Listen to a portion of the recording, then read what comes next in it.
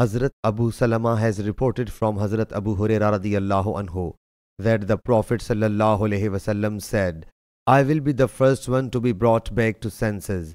So I will see Hazrat Musa alayhi salam holding the throne. Sahih Bukhari, Hadith number 7428.